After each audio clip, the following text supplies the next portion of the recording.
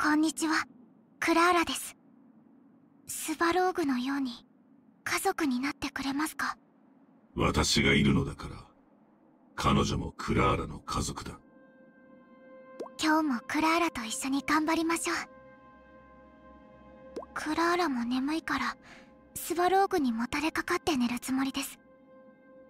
あなたも一緒にどうですか？スバローグの計算でも人の記憶を切り離すことはできません。だからクラーラは皆さんを絶対に忘れません。前におままごとをしていた時パーキンスにお客さんのお出迎えを頼んだら本当に人を連れてきたんです。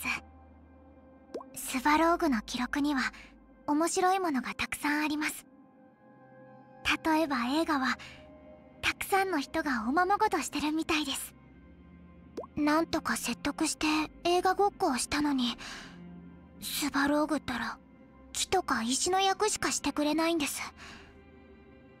お父さんみたいな役はやっぱりダメみたい。クラーラのロボットのお友達は言葉遣いはちょっと怖いけど嘘をつかないいい子たちなんですよ。スバローグが休んでいる時音がするんです。その音はいびきにそっくりなんですよ。ナターシャさんはクラーラもお医者さんだって言うんです。しかもロボットのお医者さんだそうです。以前クラーラが探しているパーツが岩の間に挟まって取れなかった時があったんです。その際に通りがかった精霊お姉さんが一撃で岩を砕いてくれたんですがクラーラがありがとうって言う前に立ち去ってしまいました。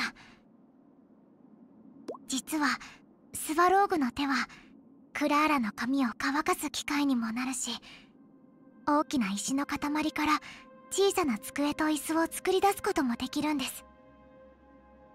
フックからモグラ島に誘われたけどかくれんぼの時スワローグはどうすればいいんだろう。